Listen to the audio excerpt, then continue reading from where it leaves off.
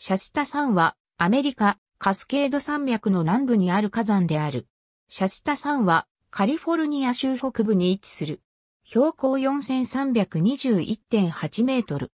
カスケード山脈の中では、レーニア山に次いで2番目に高く、カリフォルニア州内でも、ホイットニー山、ウィリアムソン山、ノースパリセードなどに次いで5番目に高い山である。主峰のほか、山頂の西側には、側火山のシャスティーナがある。古来よりこの地方に住むアメリカ先住民の聖なる山とされ、現在の山の名前はその部族の一つシャスタ族に由来する。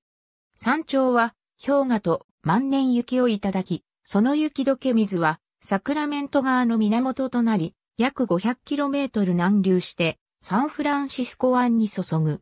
ナチュラルミネラルウォーターのクリスタルガイザーの源泉としても知られる。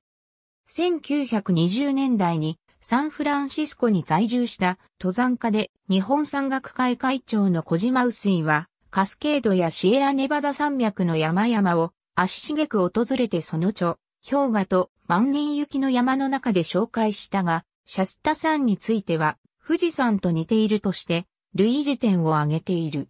シャスタ山は過去1万年の間平均800年ごとに噴火しており、最近4500年の間は平均600年ごとに噴火している。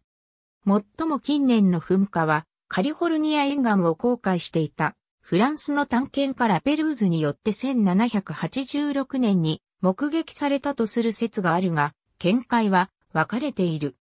30万年前には大規模な山体崩壊が発生したと分析されており、この際には45立方キロメートルの土砂が崩壊し、岩屑のだれとなって北西50キロメートルにまで達し、山麓に丘陵が残された。